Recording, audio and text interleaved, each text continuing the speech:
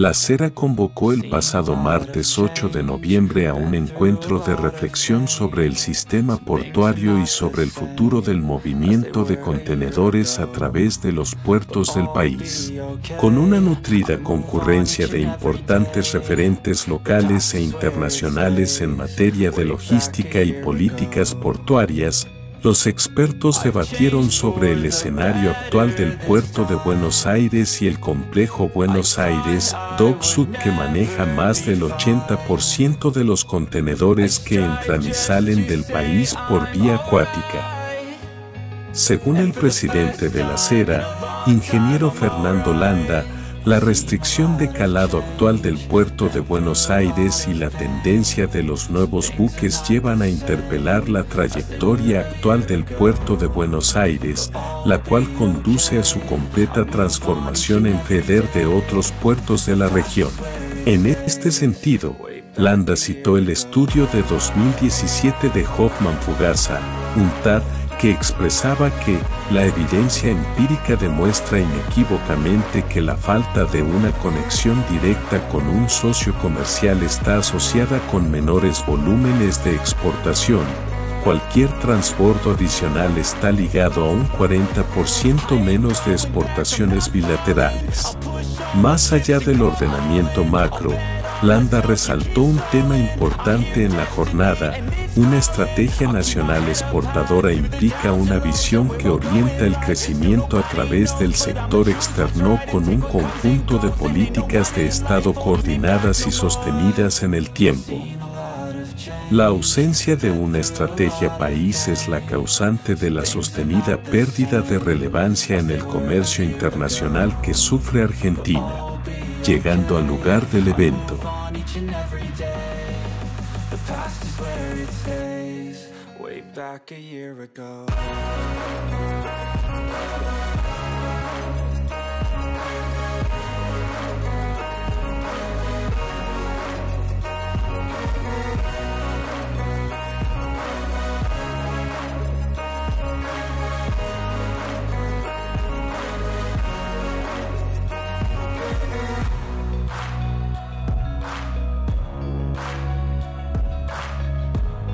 Primeras disertaciones.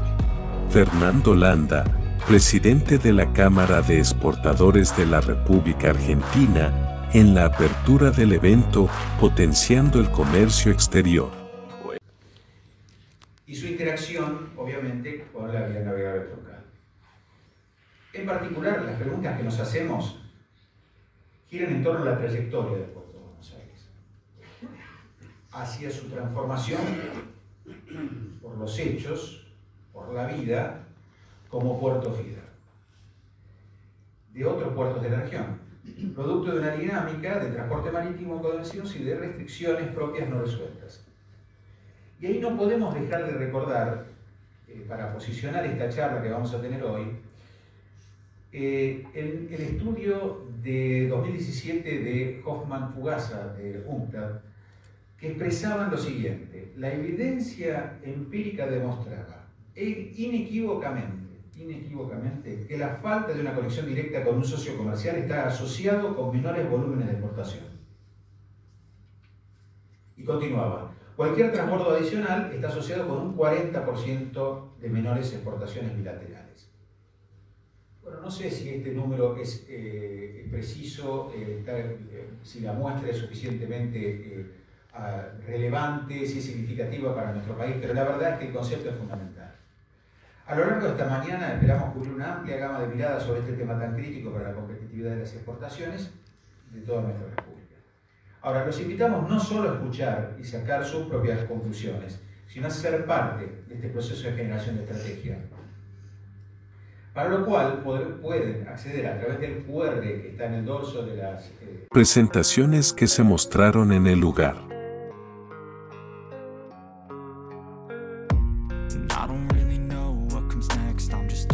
Presentación de Ricardo J. Sánchez, director del Caribbean Research Institute, en el marco del evento Potenciando el Comercio Exterior.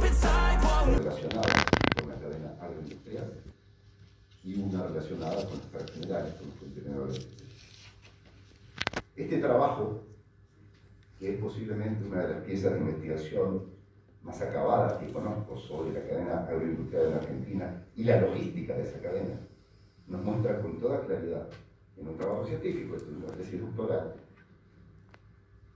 que el área de Rosario, Rosario, Tibúes, Alvear, San Martín, San Lorenzo, para no poner un nombre, ese gran arco portuario, no es el puerto de Rosario, es el puerto de todo el país en la cadena agroindustrial, salvo el caso de Pequén, Bahía Blanca, que lo vemos ahí, señalado en rojo.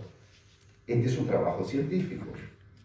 Esto se hizo siguiendo cada carga, de dónde venía y por dónde salía, de todo el país. Y ahí están los resultados. Entonces no podemos decir, el puerto de Rosario es un puerto de Rosario o de Santa Fe. No, mire, es el puerto de todo lo azul. Como el puerto de Bahía Blanca, que es el de lo rojo, rosado, etc. Y claro, por supuesto, hay superposiciones. Esto es para la cadena agroindustrial.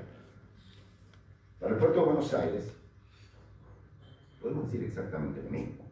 Primero, no hablamos del puerto de Buenos Aires, no hablamos del puerto nuevo. Hablamos de un arco portuario que va desde La Plata, otra vez para no hacer nombres, digo, a River, no sé, Campana, Zárate, por supuesto Puerto Nuevo, y por supuesto Exoriano. ¿Es el puerto de Buenos Aires? No, es el puerto de todo el país. Más del 60% de las exportaciones que se embarcan en Buenos Aires provienen del interior del país, como se ve en este mapa, en las líneas eh, la concentración señalada en rojo. 61% de las cargas que se embarcan en Buenos Aires provienen del interior del país. Entonces no estamos hablando del puerto de Buenos Aires. Estamos hablando, otra vez, excluyendo la Patagonia que tiene otra realidad de todo punto de vista. Estamos hablando del puerto de la Argentina, no es el puerto de Buenos Aires.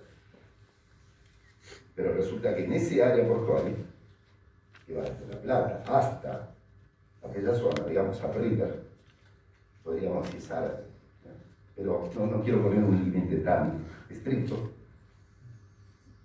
Tenemos cuántas autoridades portuarias. ¿Quién planifica esto? ¿Quién coordina todo esto? Tenemos un enorme problema.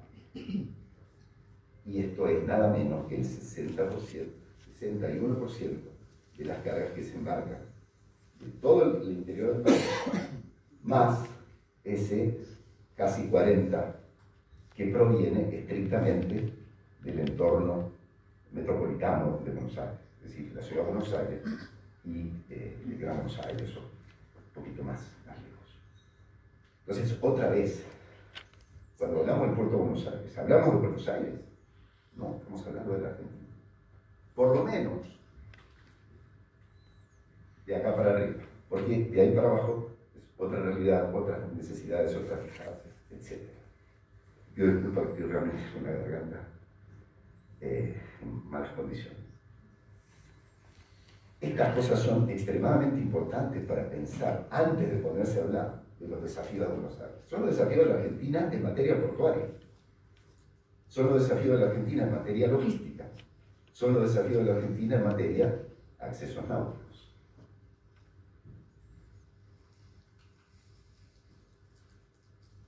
Entonces, esa es la visión estratégica. Sostener, mejorar, profundizar, hacer más eficiente, hacer más efectivo. Un puerto de Buenos Aires que si uno contaba en el año, creo que 1998, era el puerto de toda América Latina que más contenedores movía. Hoy es el 11. Después, por unas cuentas que hicimos, cuando yo todavía estaba en quedó 10, pero el año que viene será 11 O sea, este es 2022. ¿Por qué esta visión estratégica sostener y mejorar el puerto de Buenos Aires? El apoyo a la economía regional, claramente, 61% de las exportaciones del interior, perdón, del que se embarca en Buenos Aires provienen del interior, incluso profundo, de Jujuy, Tucumán, Salta, etc. El puerto de Buenos Aires es la marca portuaria de la Argentina. Cualquier reunión en Asia, en Malasia, ¿de dónde viene? De Argentina. Ah, el puerto de Buenos Aires. Claro, es la marca. Es lo que se conoce por el ingeniero Huergo, por, esa, historia, digamos, tan rica que tiene desde el punto de vista portuario. ¿Por qué? Porque tiene facilidad de acceso ferroviario, desaprovechadas, anticuadas, pero que se pueden mejorar para volver a revitalizar. Necesitamos, pero ya las tiene. Tenemos un punto de partida. Porque, bueno, posiblemente tenga algo, le quede algo de capacidad de adaptación a los cambios. Tengo dudas ahora. Pero, eh, bueno, es un punto para defenderse por la fidelidad de los dadores de café. Si uno le pregunta por dónde, sí, quieren Buenos Aires, ¿no? No se quiere ir a Montevideo, por ejemplo. Es un riesgo. Montevideo en particular, ¿no? Otras medicinas hacemos Río Grande o Paranaguá o no sé. Por la preferencia de líneas navieras las líneas, ¿por qué quieren venir acá? Porque acá hay 45 millones de personas, o digamos el total de las 45 millones en ese entorno de influencia del Puerto de Buenos Aires, hay casi 40. Entonces, siempre que puedan, ojalá van a querer seguir viniendo. Y ese es un activo para sostener y mejorar el Puerto de Buenos Aires. Claro, necesitamos promover las exportaciones, sin ninguna duda. Argentina creció con base a las exportaciones. Y ahí es donde se empiezan a mezclar ¿no? los problemas que les decía, problemas estructurales de la economía con los problemas globales de la economía, con los problemas ya estructurales propios del sector. Una gobernanza que está comprometida. Hay demasiadas instituciones dando vuelta en el, tema portuario y logístico. ¿Cuántas autoridades tenemos para cinco terminales? Que hay 6, 7 que puede haber en ese arco. Algunas no tienen. Tienen una autoridad nacional, otras tienen una autoridad provincial. Y resulta que el destino de esa actividad es la misma zona. las cargas del Sur son cargas de Buenos Aires, de la ciudad de Buenos Aires, son cargas de la provincia de Buenos Aires, lo mismo Puerto Nuevo, incluso Zárate, incluso La Plata, el día que pudiera esperar. Por supuesto, la proximidad geográfica a los nodos de distribución, la conexión con el tráfico fluvial, fundamental. Otra vez, no podemos seguir hablando del puerto, separado del futuro de la hidrovía. Y la operación de cruceros. En la foto que mostraba el presidente de SEA, ese día en el puerto de Buenos Aires se contaban cuatro cruceros amarrados. Eso es un valor. Eso es un valor. Entonces, para pensar en el contexto portuario, logístico, tenemos que ver qué es lo que está pasando. Otra vez los tres, ¿no? Contexto global, contexto, el impacto global, el impacto de nuestros propios problemas y el del el sector. Una forma parecida a lo que planteaba el presidente Cera. Estas algunas de las presentaciones que realizo en el evento.